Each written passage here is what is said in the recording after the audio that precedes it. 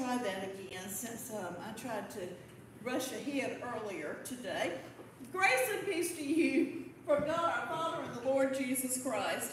May God be with you. There you go.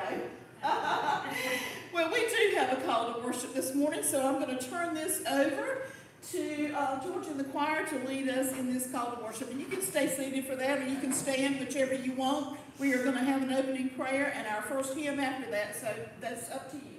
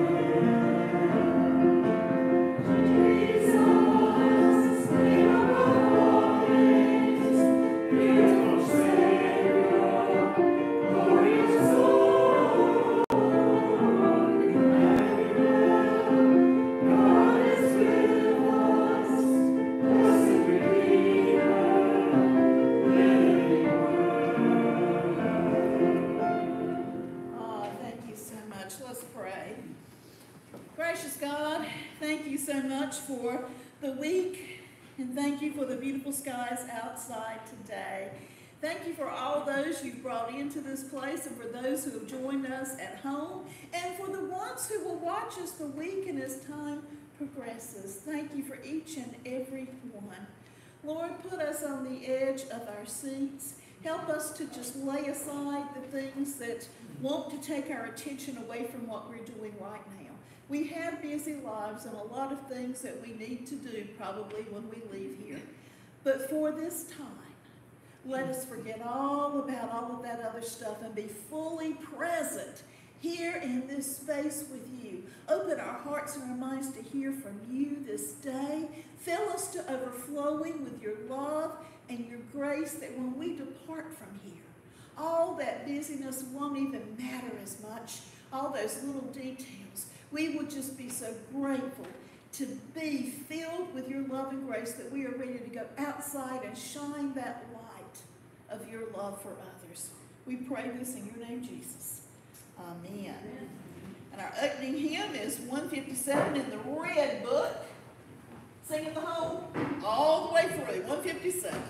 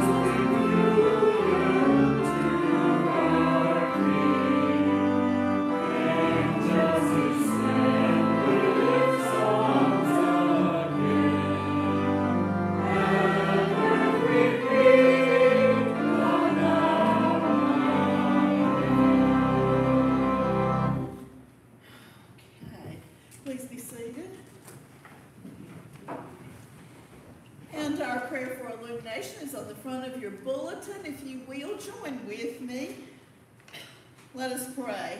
Lord, open our hearts and minds by the power of your Holy Spirit, that as the scriptures are read and your word proclaimed, we may hear with joy what you say to us today.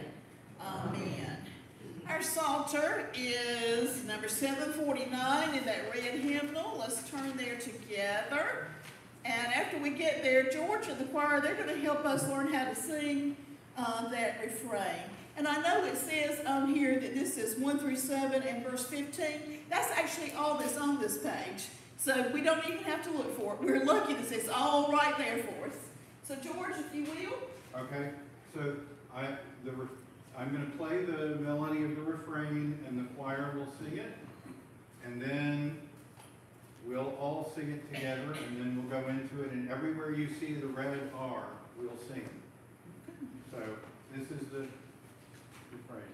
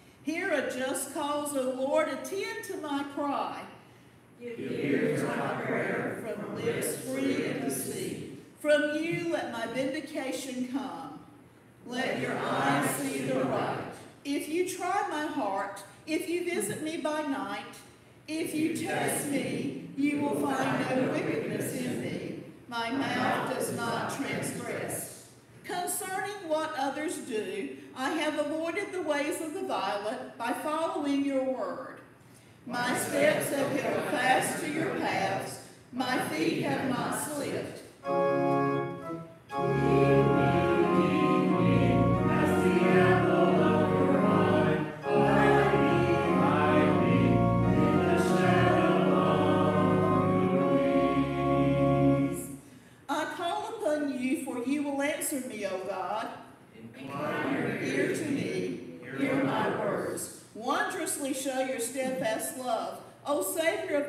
Seek refuge from their adversaries at your right hand. As for me, I shall behold your face in righteousness. When I awake, I shall be satisfied with beholding your presence.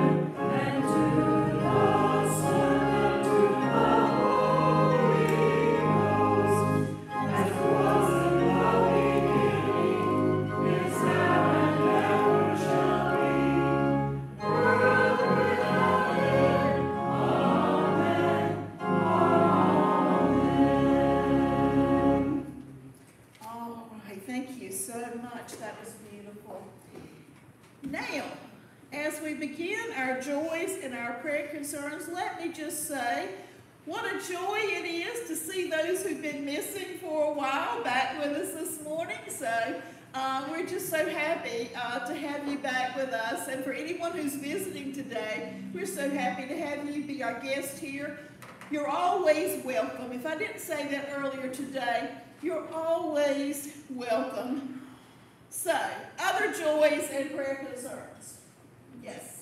We just found out this week that our first great grand, great grandchild was born in May, of March. March. Your great grandchild. Wonderful. Yay, God. Boy or girl? No, boy. Don't know. Oh, not born. Yeah, yeah. A board. We can know. There you go. I love that. I love that. I love that. Okay, so um, other joys or prayer concerns concerns? Awesome. Well, we um, celebrated birthdays of two more grandchildren yesterday. I think we've got them all covered for the year now. Everybody's had a birthday, all the grandkids, but we got to see them all again, and that was truly a joy. Um, we saw the 16 month old in a pair of skates yesterday. That kind of scared me a little bit, but uh, thankfully Daddy's holding on to him. So I figure four months after you start walking might be a bit early for the skates. but- All right, well, prayer concerns. Well, look at this.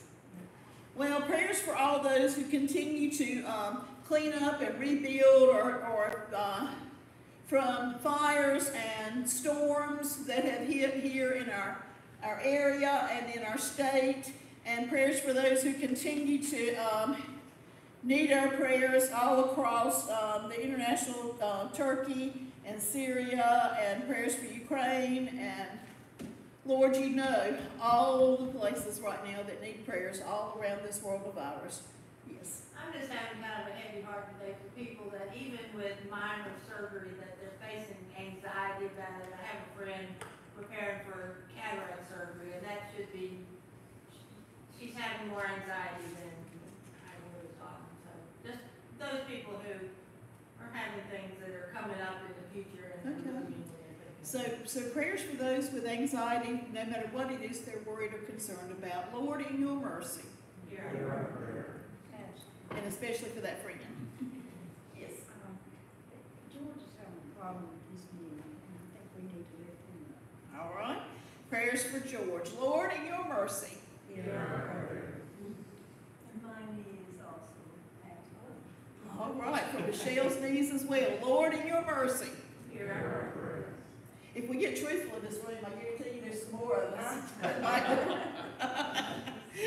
Woo, all right. So, uh, yeah, prayers for joints uh, abound for all of us. Lord, in your mercy. Hmm. I'll put my dad on there. Prayers for his hip. Lord, in your mercy. All right. Any others? Um, and continued prayers for David's mom. And uh, of course his dad because this affects him as well. And, and David and them. Lord, in your mercy. All those on our prayer list. We have a kind of long prayer list right now. So for all of those. And um, Charles, would you like to announce what you need prayers for right now?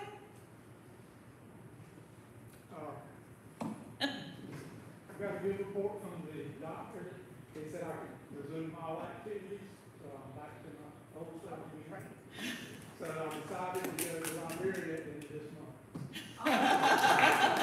He actually, I was sitting next to him when he asked the cardiologist if, you know, he would uh, approve that, and he said yes. So if I hadn't heard it with my own ears, I might not would have believed it, but he said yes.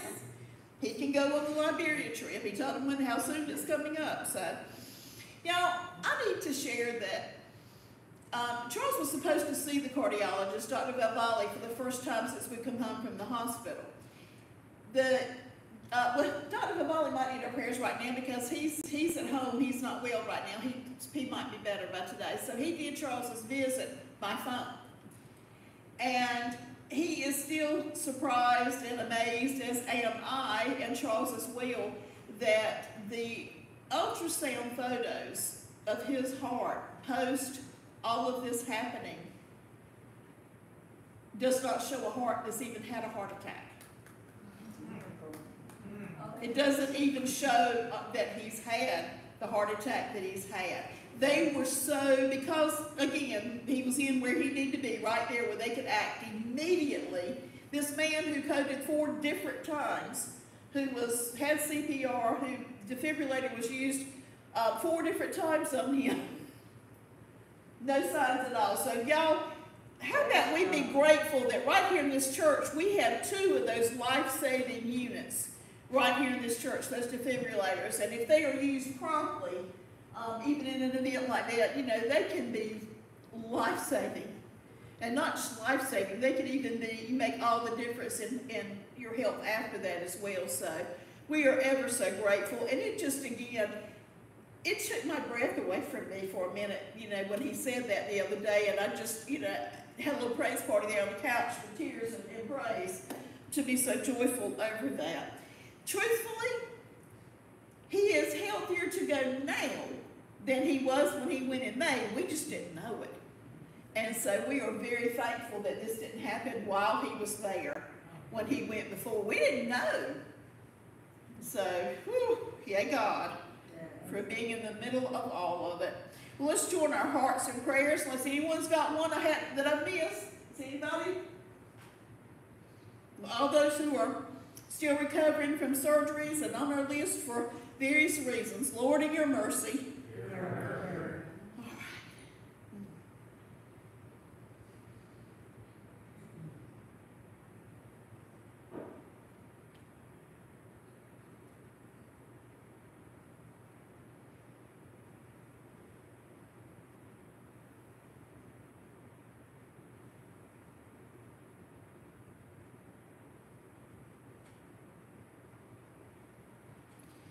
Gracious God, we want to add to our prayers all those who are still traveling, um, those families who are getting those last minute trips um, done before the school year begins, for our teachers who are winding up their vacation time and are already preparing for the school year to come.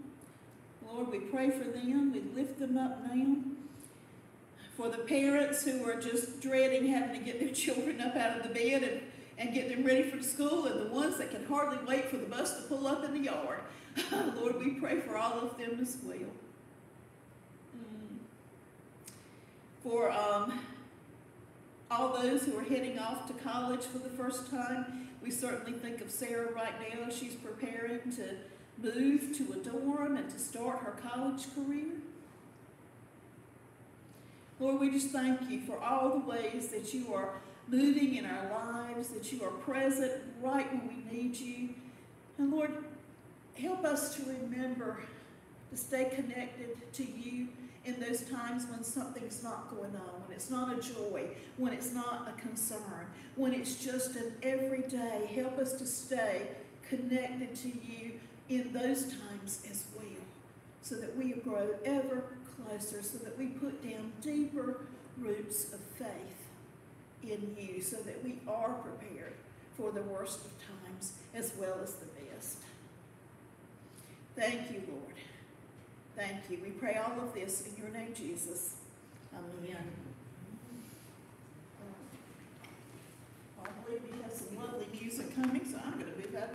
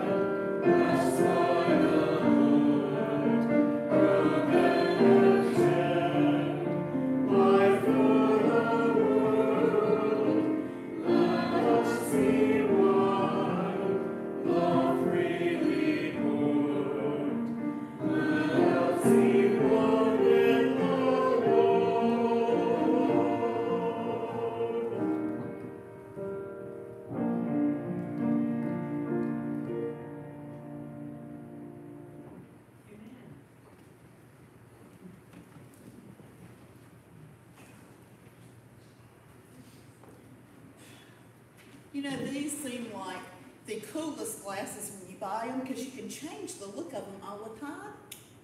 Unfortunately, the magnets don't hold as strong as I need them because I am a big klutz and I'm constantly hitting and knocking these off. Um, so uh, I will be losing these probably shortly and they'll just be clear again. we'll see. Okay, well, you know, we've been doing um, bumper sticker theology off and on uh, lately. And today we are supposed to look at um, God is my co pilot, or Jesus is my co pilot. I know you've probably seen that bumper sticker out there before. I want to ask you something. How many of you um, maybe growing up when a parent told you to do it, or maybe kids have done it to you, or you've seen it like I have on various sitcoms. This seems to be one of those themes that pops up on um, every show, especially where they look at, at families, you know, with, with children, no matter who's raising them. You know, you find this episode usually where a parent or a babysitter or someone tells a child to do a chore. And they don't do it. And then they get told again and again. And finally this adult person shows them how to do it. You know what i'm talking about here? They show them how to do it and the kid will whine and say i don't know. I don't think i've got it yet. Show me again. Or sometimes it's even an adult. If any of you've ever watched the show everybody loves raymond that still comes on and reruns or uh, King of Queens or, or Blackish, any of these shows have had episodes where someone was trying to get them to do a chore, clean up your room, clean up the kitchen, clean up the bathroom, whatever, and they watch the other, well, I don't know how to, you know, and they keep watching the other person do it until it's all done, and then they're like, oh, okay, I got it now, but somebody else did the whole chore. Well, we're going to look at our gospel lesson this morning and see if that is, you know, does God do, does Jesus do all the work? Is that how that works? Do we talk Jesus into doing? Is God the, um, is God in charge, or are we? Or let's let's look at this. So we are in the 14th chapter of Matthew. And we are starting at verse 13. And I believe it goes yeah, through 21. Now, when Jesus heard this, he withdrew from there in a boat to a deserted place by himself. I want to stop right there for just a second. When we first began this series on bumper sticker theology, the very first one we did was I can do all things through a verse taken out of context. Exactly. So, first thing we need to do is find out what is the context for this particular scripture, don't we? Now, when Jesus heard this, he withdrew from there in a boat to a deserted place by himself. The context of this particular story that we're reading today is that John the Baptist had just been beheaded. Jesus had just learned about this. The disciples found out and they had gone and retrieved his body and had buried it, and then had gone to Jesus to tell him what had happened. And when he learned, he withdrew in his grief by himself to mourn. To mourn, to process, to connect with the Father and the Spirit. But when the crowds heard it, they followed him on foot from the towns. When he went ashore, he saw a great crowd, and he had compassion for them and cured their sick. Well, does this sound like a co pilot kind of thing, or is this a leader? Someone who sees a need and deals with it, and even teaches in doing so. Aren't we learning from that today? That there are times when we need to draw away by, in a quiet place by ourselves and connect and, and rest and have that time that we need. And then there are times when, even in the midst of our own suffering, when the need is great, to have compassion. So we're still being taught there. When it was evening, the disciples came to him and said, This is a deserted place, and the hour is now late. Send the crowds away so that they may go into the village and buy food for themselves. Jesus said to them, They need not go away. You give them something to eat. They replied, We have nothing but five loaves and two fish. Charles, you were right. I got them wrong this morning. Y'all, y'all- bear witness to this. I had confused the loaves and the fishes this morning, so I am telling my husband in front of the whole group here that he was right and I was wrong. So if he ever says that I've never said that before, y'all can bear witness to the fact. I'm turning this on my good side. Don't notice I'm doing that so they had, again, how many of what? Five loaves and two fish. And he said, um, give them, he said, bring them here to me. Then he ordered the crowds to sit down on the grass. Taking the five loaves and the two fish, he looked up to heaven and blessed and broke the loaves and gave them to the disciples. And the disciples gave them to the crowds. And all ate and were filled, and they took up what was left over of the broken pieces, twelve baskets full. And those who ate were about 5,000 men, besides the women and the children. So think of the enormous numbers that we are talking about here. The Word of God for the people of God. Thanks be to God.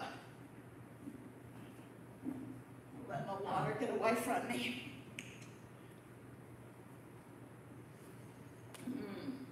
So, it sounds to me a lot like Jesus is the one leading here. Does it sound like to you that Jesus is the one leading? If we're looking at this scripture through the lens of who is the co-pilot here, I don't think it's Jesus, do you?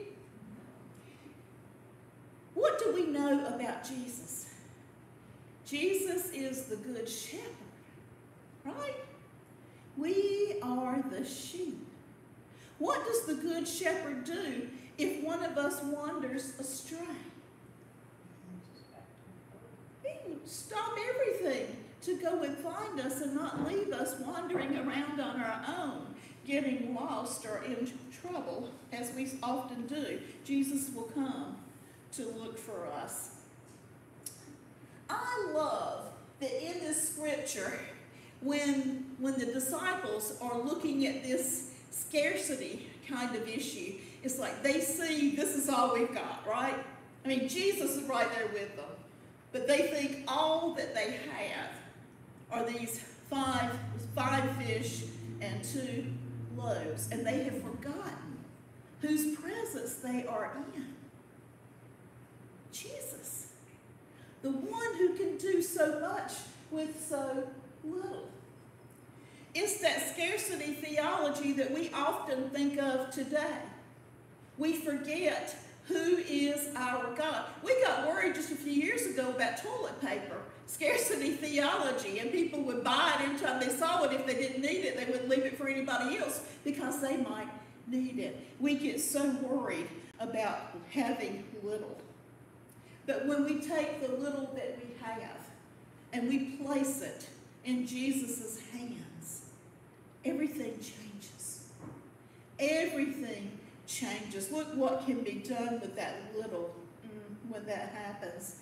We follow Jesus. The whole of this gospel story is about following Jesus. Not us leading Jesus or Jesus walking beside. It's us following Jesus. We are to be followers. Jesus is to take the lead. I wonder if this was, you know, we don't know how Jesus did this, right? We don't know if Jesus somehow miraculously made these little bit of food turn into a lot of food, or if the miracle was more when the crowd saw that they were willing to hand Jesus their little bit. And Jesus was giving God thanks for it and sharing it with all of them. It's kind of a stone soup event occurred. Y'all remember that story, the stone soup, right? I'm not gonna retell it this morning. But if you don't remember it, um, someone came to town hungry, right? And put a stone in a pot of water and started a fire. And then when he started talking about how wonderful that was gonna be and delicious, people started to bring things to add to it when he would hint, right? That it'd be a little bit better. And so people who were worried about scarcity began to share. Maybe it's something we all need to remember that with God as our leader, we don't have to worry about our little bit. We can put those worries, those concerns, what we have in the hands of God and trust that it will be enough. Y'all, there is enough of everything in the world right now. No one should have to be hungry. Anyone who is hungry today is not hungry because God did not provide. They are hungry when we get worried, when humankind decides one, we either want it for ourselves, or two, we, we think there's not enough, and then we, we hoard it and don't share. And there are countries where this happens, and you know, sometimes it happens here too. I don't mean here in the church, I mean here in the United States as well, where we see something and we think we need a lot of it. And we forget that others need these resources as well. If we trust God with what we have and what is available, everyone would have enough. Y'all hear what I'm saying? If we trust God, everyone would have enough.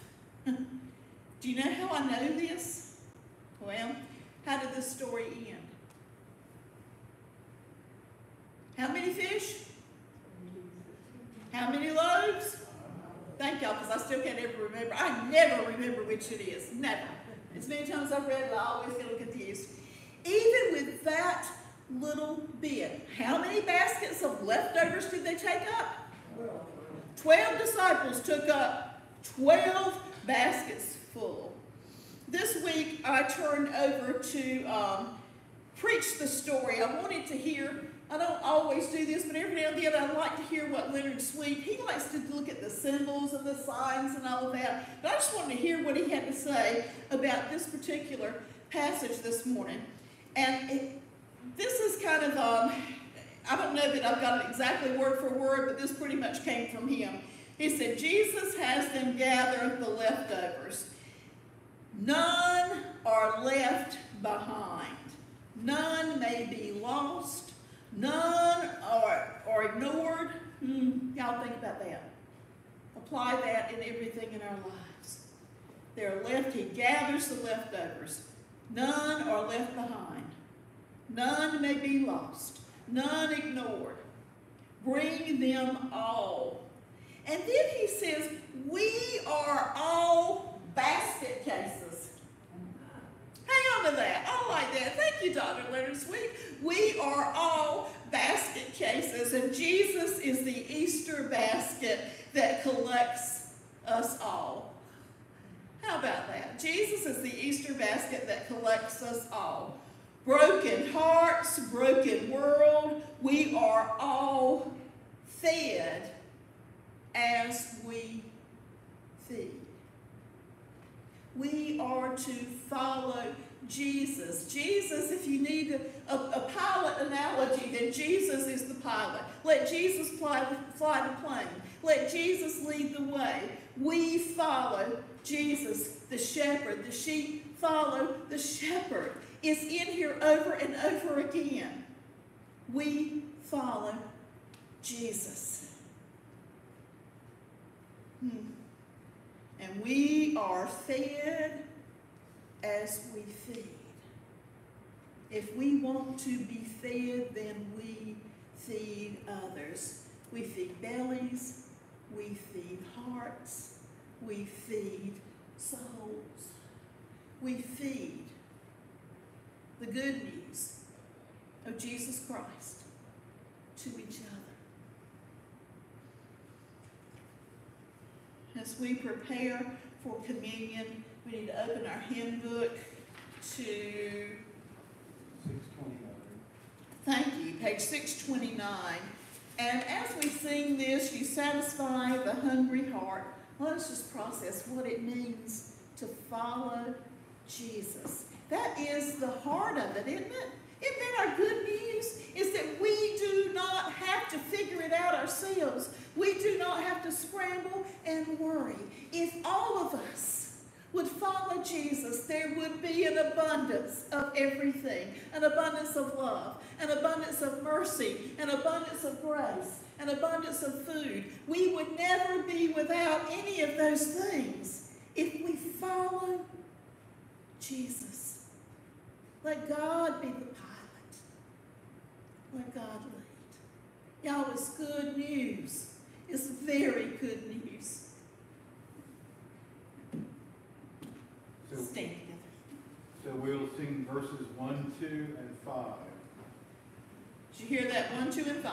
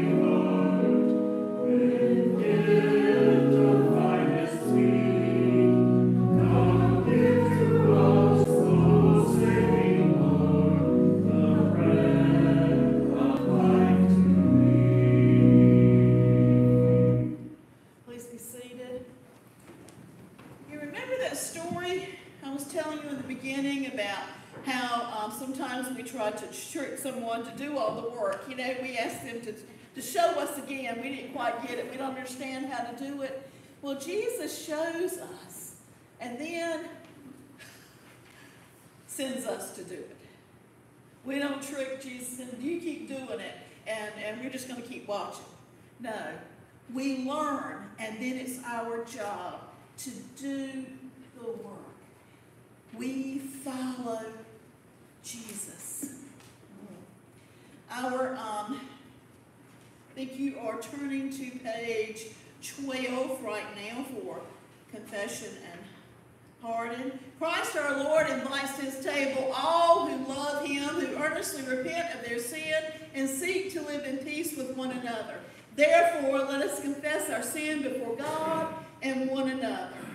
Merciful God, we confess that we have not loved you with our whole heart. We have failed to be an obedient church. We have not done your will. We have broken your law. We have rebelled against your love. We have not loved our neighbors, and we have not heard the cry of the needy. Forgive us, we pray. Free us for joyful obedience through Jesus Christ our Lord. Amen. Hear the good news. Hmm. Christ died for us while we were yet sinners. That proves God's love toward us. In the name of Jesus Christ, you are forgiven. In the name of Jesus Christ, you are forgiven. Glory to God. Amen.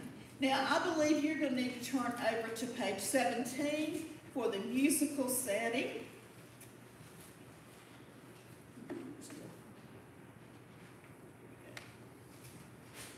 Ignore that. If you uh, want the prepackaged elements, they are here at the door as you come in, and feel free to, to move and get those. If you would like to come up for intinction, you can do that. That is entirely up to you. If you're going to use the ones you pick up there, when I go to bless these in a little while, you'll hold those up and we will bless them all at one time.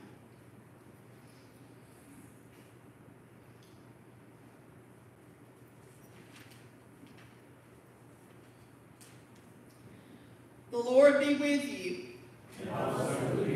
Lift up your hearts. Let us give thanks to the Lord our God.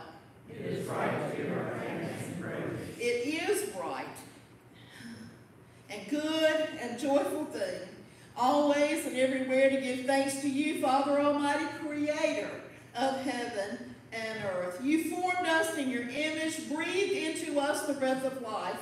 When we turned away and our love failed, your love remained steadfast. You delivered us from captivity, made covenant to be our sovereign God, and spoke to us through your prophets. And so, with your people on earth and all the company of heaven, we praise your name and join their unending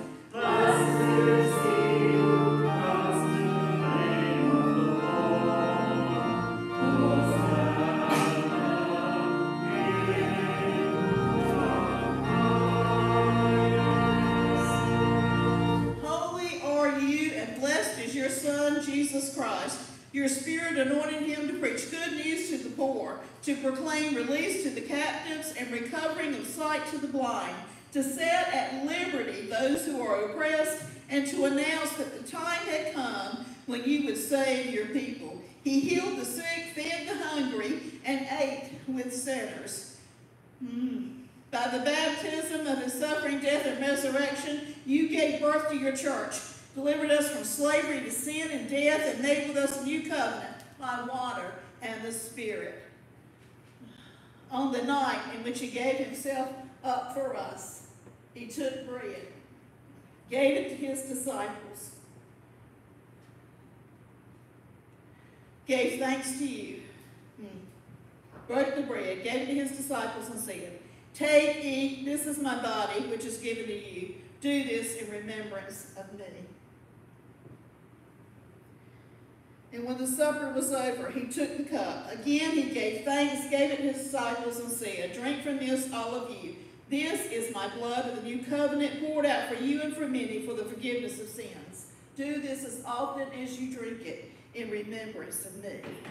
And so, in remembrance of these, your mighty acts in Jesus Christ, we offer ourselves in praise and thanksgiving as a holy and living sacrifice in union with Christ's offering for us as we proclaim the mystery of faith.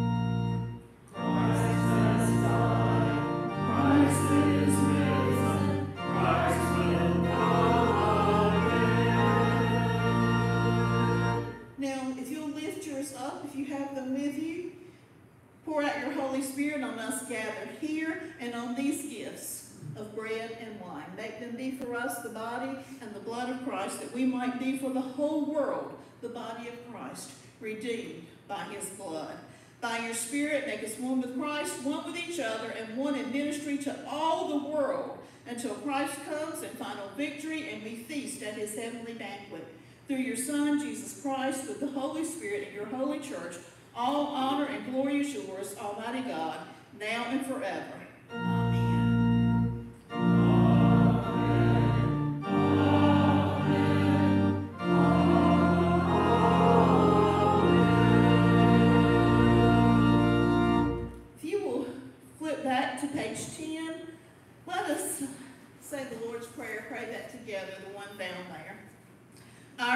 Father in heaven, hallowed be your name.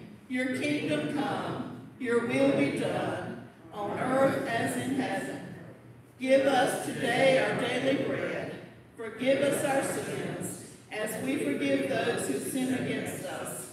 Save us from the time of trial, and deliver us from evil. For the kingdom, the power, and the glory are yours, now and forever. Amen.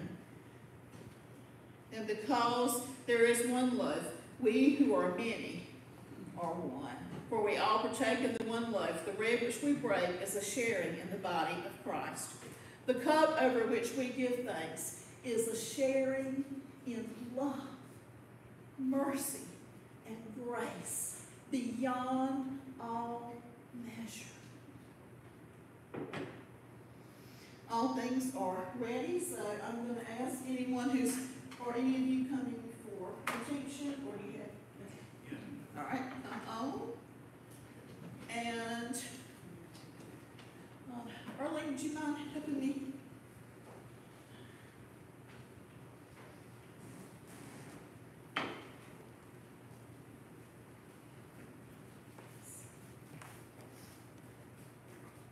We'll sort of check it in. Okay. This is the This is the body of Christ. This is the body of Christ. This is the body of Christ. This is the body of Christ.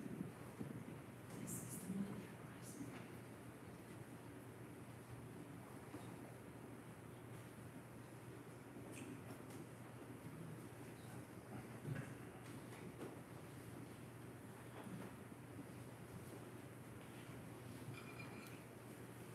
If anyone uh, would like to come forward for intinction.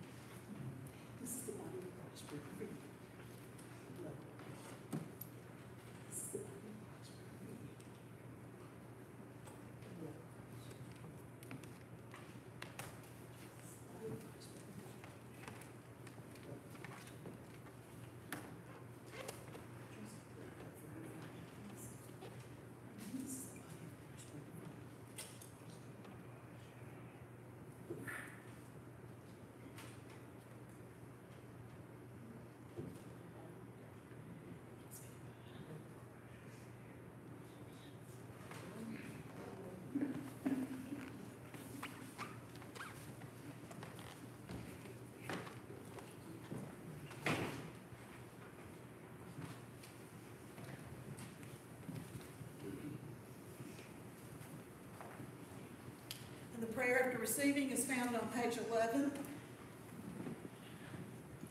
Let us pray. Did I get the wrong page number? Yeah, I'm on the wrong page I'm It's the right page, I'm just on the wrong page. Let us pray. Eternal God, we give you thanks for this holy mystery in which you have given yourself to us. Grant that we may go into the world in the strength of your Spirit to give ourselves for others. In the name of Jesus Christ our Lord. Amen.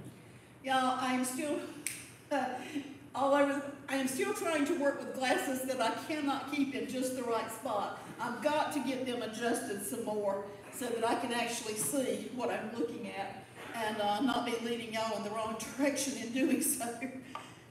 All right. Um, our closing hymn is 593. Here I am, Lord. Let's all stand and sing together. George, anything specific? No, we'll do it all. Okay.